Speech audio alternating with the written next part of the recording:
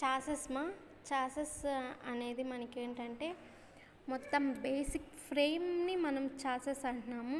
ఇక్కడ ఏంటంటే కాంపోనెంట్స్ అన్నీ అసెంబ్లీ ఉంటాయి. ఏమేమంటే engine transmission tyres front axle and electrical systems ఇవన్నీ అటాచ్ అయ్యి వాటి మీద ఏదైతే ఫ్రేమ్ మీద ఉంటుందో దాన్ని మనం చాసెస్ అంటున్నామమ్మా.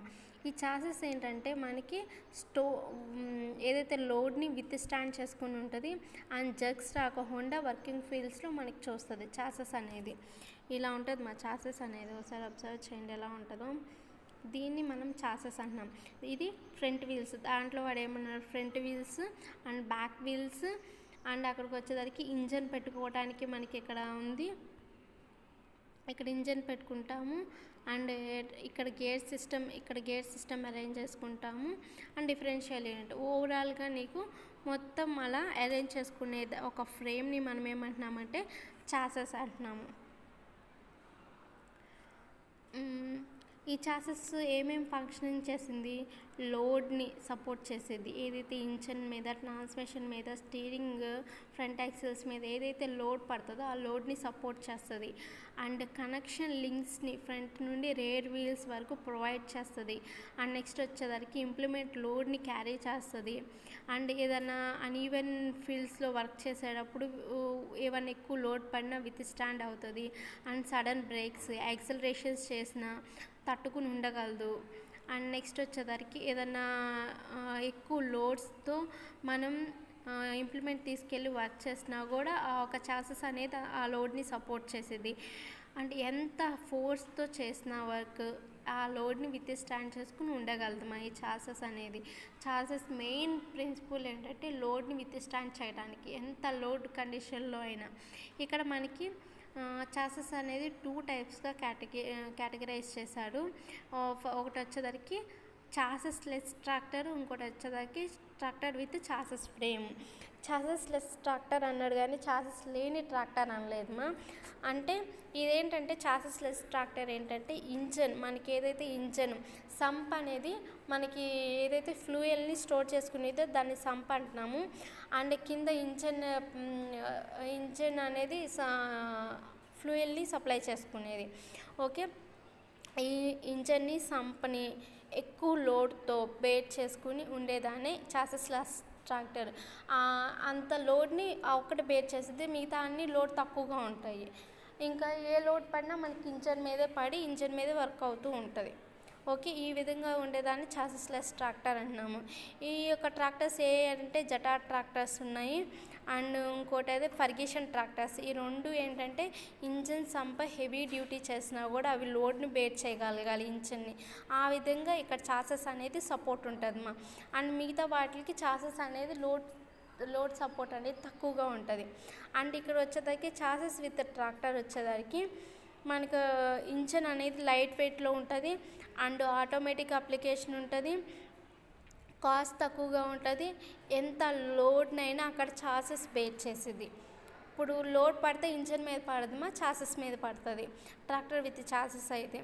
ఈ విధంగా ఉండేదాన్నే మనం chassis with tractor with chassis దీనికి ఏంటంటే ట్రాన్స్మిషన్ బాక్స్ రేర్ బాక్స్ ఇవన్నీ కనెక్షన్స్ ఉంటాయి. మరి దానికంటే కొంచెం కనెక్షన్స్ తక్కువ ఉంటే లోడ్ తక్కువ బేర్ చేస్తుంది అంతే. అండ్ ఇక్కడ cross sections of long members. ఇక్కడ ట్యూబులర్ సెక్షన్ ఒకటి ఉంది channel section and box section.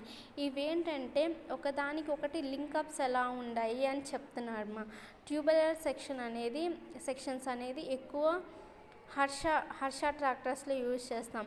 దీనికి ఏంటంటే weldings and tubular frames join చేస్తారు. అంటే ఆ చాసెస్ అనేది మనకి ఏ చాసెస్ అయితే అది ట్యూబులర్ ఫ్రేమ్ సెక్షన్స్లో ఒకదానికి ఒకటి లింకప్ అయ్యి వెల్డింగ్ చేసి ఉంటుంది అని చెప్తున్నారు మా అంటే మనకి ఆ చాసెస్ డిజైనింగ్ అనేది ట్యూబులర్ సెక్షన్లో ఉంటుంది అని చెప్తున్నాడు. అండ్ ఇంకోటి channel. Channel section channel section అనేది మోస్ట్ కామన్గా యూజ్ చేస్తాము అండ్ మోర్ స్ట్రెంగ్త్ని బేర్ చేసేది. ఇది బైనోలెస్ ట్రాక్టర్స్ని యూజ్ చేస్తారమ్మా అండ్ ఇక్కడికి వచ్చేసరికి టూ లాంగ్ మెంబర్స్ ఉంటాయి. అవేంటంటే ఫస్ట్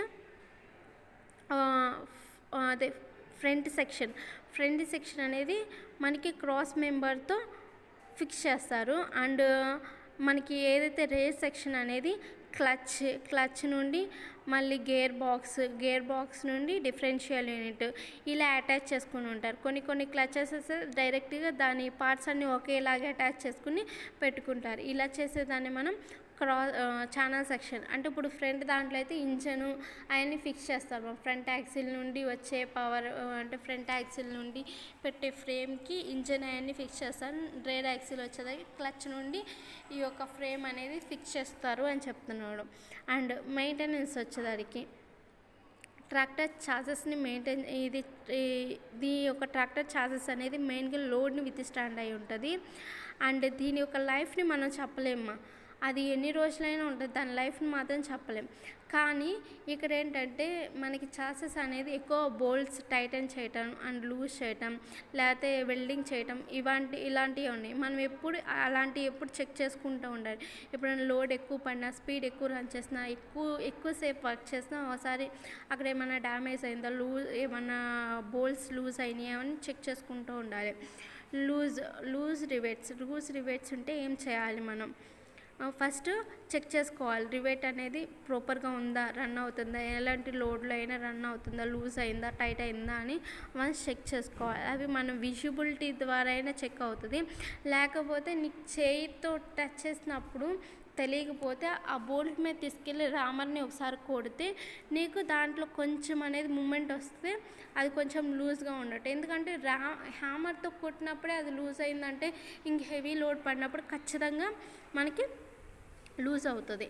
అందువల్ల ఒకసారి హ్యామర్తో కొట్టి చూసినప్పుడు లూజ్ అయితే ఆ లూ అదేంటంటే మనం అంత లూజ్ అయితే దాన్ని రీప్లేస్ చేసుకుని మంచిగా పెట్టుకోవాలి. అండ్ అక్కడ హోల్ హోల్ అనేది పెద్దది అవ్వకుండా చూసుకోవాలి. ఒకవేళ పెద్దదైతే దాన్ని ఇంకొంచెం పెద్ద చేసి పెద్ద రివెట్స్ని యూజ్ చేయాలి. అండ్ ఫస్ట్ చూడండి cut the rivet head with the drill. ఒకవేళ ఎక్కువ కట్ అయితే దాన్ని మొత్తం కట్ చేసేసి చిన్న డ్యామేజ్ పీస్ ఒక పీస్ అతికిచ్చి పక్కన హోల్లా పెట్టి ఆ హోల్లో రివెట్ పెట్టాలి. అండ్ ఇక్కడ డయామీటర్ అనేది ఒకవేళ మొత్తం పాడైపోతే ఇంకో చిన్న హోల్ చేసుకుని ఆ హోల్లో పెట్టుకోవాలి అని చెప్తున్నాడు. పక్కన ఇంకో చిన్న హోల్ చేసుకొని. అండ్ ఎప్పటికప్పుడు హోల్ని క్లీన్ చేసుకుంటూ ఆ రివేట్ని మంచిగా పెట్టుకుంటూ ఉండాలి. ఏమన్నా రివేట్ హీట్ అయ్యి అంటే విత్ స్టాండ్ అవ్వకపోతే మళ్ళీ అవి చెక్ చేసుకుంటూ ఉండాలి. అండ్ రిబేట్ హెడ్ హోల్డ్ అయినా మళ్ళీ అవి కరెక్ట్గా ఉన్నాయా లేవా అని మళ్ళీ చెక్ చేసుకుంటూ ఉండాలి. ఈ విధంగా మనకి ఏదైనా మొత్తం పాడైపోయిందంటే మళ్ళీ కొత్తది రీప్లేస్ చేయాలి. అండ్ నెక్స్ట్ వచ్చేసరికి క్రాక్స్. క్రాక్స్ అనేది డెవలప్ అవుతూ ఉంటాయి ఛాసెస్ మీద.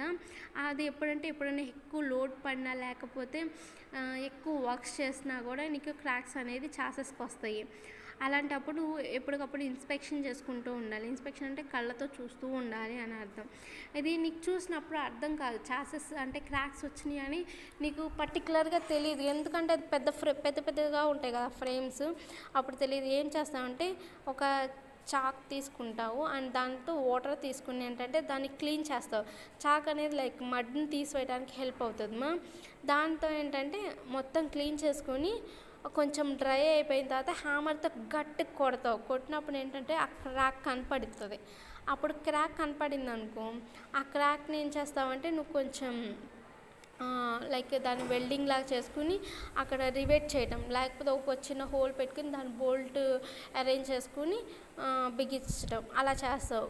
లేకపోతే నీకు అక్కడ అంటే ఈ యొక్క ఎలా రీప్లేస్ చేయాలంటే ఫైవ్ బై సిక్స్ ఎంఎం వరకు డ్రిల్ హోల్ ఉంటే ఈ విధంగా చేసుకోవచ్చు అని చెప్తున్నాడు. అండ్ నెక్స్ట్ వచ్చేసరికి టూ పాయింట్స్ ఇచ్చాడు మా ఇక్కడ గ్రూ అనేది గ్రూ అంటే ఇక్కడ హోల్ హోల్ అనేది టూ టు త్రీ ఎంఎం వరకు ఉన్నప్పుడు నువ్వు మంచిగా చేసుకుని పెట్టుకోవచ్చు. లేదు అంతకన్నా ఎక్కువ అయితే మొత్తం తీసేసుకుని వెల్డింగ్ చేసేసి ఒక చిన్న పీస్ అటాచ్ చేసి వెల్డింగ్ చేసేసి మళ్ళీ గ్రూ అనేది పెట్టుకోవాలి. అండ్ నెక్స్ట్ ఇక్కడ వన్ బై టూ కన్నా బ్రిత్ ఎక్కువ పోయింది అంటే ఒక చిన్న ప్లేట్ అక్కడ రీప్లేస్ చేసి మళ్ళీ హోల్ పెట్టుకోవాలి అని చెప్తున్నారు మా. ఇది ఓవరాల్గా మీకు క్రాక్ గురించి ఇక్కడ ఎలా అవుతున్నాయో ఒకసారి చూడండి. హోల్ పెట్టి గ్రూ వి వి కట్స్లో ఇక్కడ తీసుకుని అక్కడ హోల్ పెట్టుకుని అక్కడ నీకు అరేంజ్ చేస్తున్నారు. ఇక్కడ క్రాకింగ్ పొజిషన్ ఎట్లా క్రాక్ అయిందో అబ్జర్వ్ చేయండి. అండ్ నెక్స్ట్ ఇక్కడ హోల్ డ్రిల్ అనేది ఫైవ్ ఎంఎం చేసుకొని రివేట్ చేస్తున్నారు. అండ్ నెక్స్ట్ వచ్చేసరికి వెయిట్ ట్రాన్స్ఫర్మేషన్. ఇక్కడ వెయిట్ ట్రాన్స్ఫర్మేషన్ అంటే మనకి ట్రాక్టర్స్కి ఏంటంటే బ్యాక్ సైడ్న హెవీ లోడ్ అనేది పడుతూ ఉంటుంది. హెవీ లోడ్ పడినప్పుడు ఏంటంటే ఫ్రంట్ లోడ్ అనేది తక్కువ అయిపోతూ ఉంటుంది.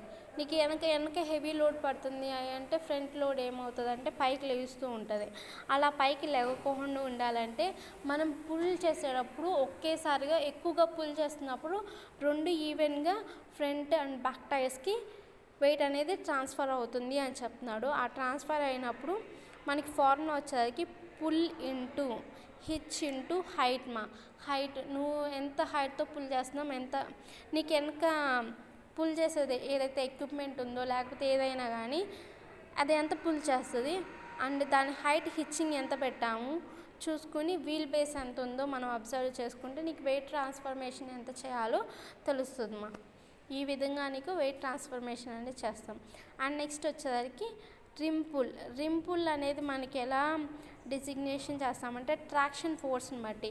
నీకు ఒక rubber rubber try tyre and wheel wheel driving wheel driving wheel అంటే రిమ్ రిమ్ ఎంత తిరుగుతుందో దాన్ని బట్టి ట్రాక్టర్ టైర్ అలా తిరుగుతుంది. దాన్ని బట్టి నీకు ఎంత ట్రాక్షన్ జరుగుతుందో తెలుస్తుంది. ఓకే ఇక్కడ కోఫిషియంట్ ఆఫ్ ట్రాక్షన్ అనేది హయ్యర్ ఎనఫ్ అంటే అంటే మనకి స్లిపేజ్ జరగకుండా ఉండాలి అంటే రిమ్ పుల్ అనేది ఎక్కువగా ఉండాలి. అంటే రిమ్ అనేది రొటేషన్ ఎక్కువగా ఉండాలి. అంటే ఇక్కడ ఇంచన్ నుండి పవర్ వస్తేనే రిమ్ అనేది రొటేషన్ తిరుగుతుంది. ఇంచన్ నుండి పవర్ ఎక్కువ వచ్చి ఆ డ్రైవింగ్ వీల్ అనేది రొటేషన్ జరిగితే మనకి ఇక్కడ స్లిపేజ్ అనేది జరగకుండా ఉంటుంది అని చెప్తున్నాడు. దాన్నే మనం రిమ్ పుల్ అంటున్నాము అంటే ఇంజన్ నుండి పవర్ ఎంత లాగుతుందో దాన్ని బట్టి టైర్ రొటేషన్ ఎంత జరుగుతుంది అని చెప్పేదాన్నే మనం రింపుల్ అంటున్నాం అమ్మ. ఇది ఓవరాల్గా మీకు ట్వంటీ